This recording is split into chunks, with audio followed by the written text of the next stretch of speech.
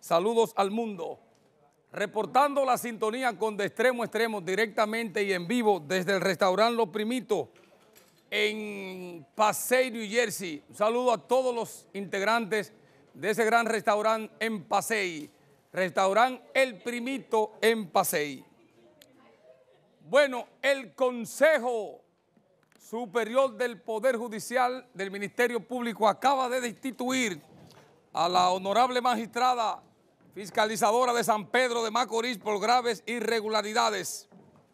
La resolución del Consejo Disciplinario que dispone la destitución de la fiscalizadora de San Pedro de Macorís, Margarita Hernández Morales, por cometer faltas graves y muy graves en el ejercicio de sus funciones en el Ministerio Público. Estaba siendo acusada por el actual titular del Ministerio Público en San Pedro de Macorís. Hoy se cumplen 41 años del suicidio del presidente de la República de entonces, Antonio Guzmán Fernández. El 4 de julio de 1982 se suicidó el jefe del Estado. Muchas especulaciones en ese tiempo con relación al manejo de la cosa pública, sobre todo de un sector encabezado por su sucesor Salvador Jorge Blanco. Hoy el pueblo dominicano recuerda a este gran demócrata, al hombre que abrió la puerta de la libertad en este país, Antonio Guzmán, que ganó las elecciones de 1978, libertó a los presos políticos, dispuso el regreso de los exiliados y destutanó a la cúpula militar balaguerista de los 12 años. Uno de los acontecimientos más importantes del país se caracterizó por ser un hombre del campo, oriundo de La Vega y aplatanado en Santiago. Antonio Guzmán tiene un largo historial político en la República Dominicana, desde la Revolución hasta el primer gobierno de Don Juan, donde fue secretario de Agricultura. Un hombre de grandes dotes morales, quizás la desesperación lo llevó al suicidio. Faltaban 43 días para cumplir el mandato de 1982. 43 días que lo ocupó el entonces vicepresidente, licenciado Jacobo Magluta, quien pasó a ocupar la presidencia de la República. Recordamos hoy a Antonio Guzmán como un gran presidente, y yo me atrevería a decir como uno de los mejores presidentes que se ha gastado la historia de República Dominicana. Señores, en lo que va de año, estoy hablando, en estos primeros seis meses, 41 mujeres han sido asesinadas por sus parejas. Eso es una cifra alarmante de que los hombres imbuidos en celos hayan perpetrado crímenes horripilantes que avergüenzan a la sociedad dominicana.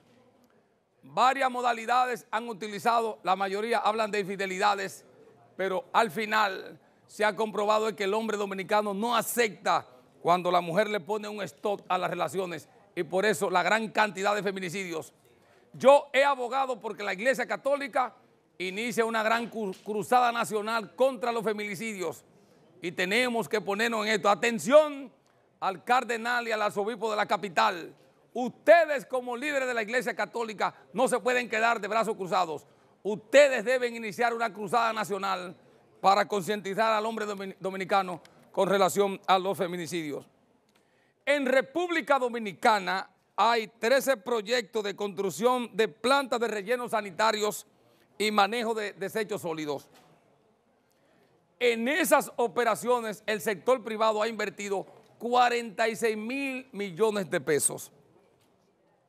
Esos inversionistas deben ser garantizados por el gobierno, sobre todo porque son los que trabajan con los residuos sólidos y me voy más lejos.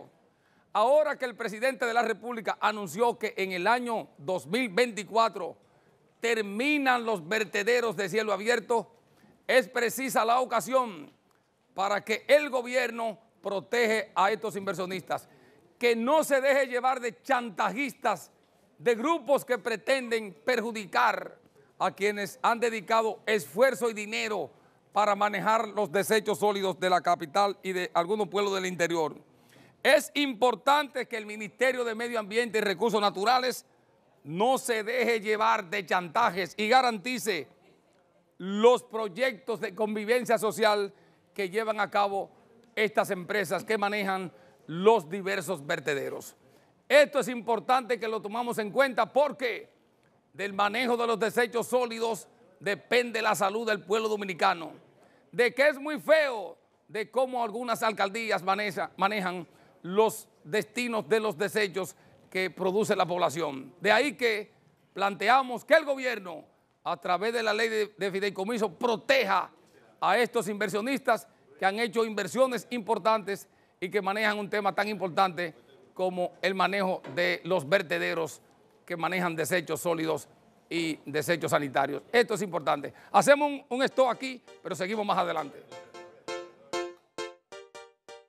Segmento del garrote Johnny Vázquez ha llegado a ustedes como una cortesía de Orto Implante Centro Dental Doctor Cabral. Profesionales de la salud bucal y la estética dental esperan por ti con la mejor tecnología en Orto Implante. En pantalla uno de nuestros especiales. En la actualidad, colócate tus implantes dentales sin cirugía y sin dolor en menos de una hora por solo 485 dólares. Estamos ubicados en la zona metropolitana, en la autopista San Isidro, en los jardines metropolitanos en Santiago. Orto Implante Hacemos que sonrías más.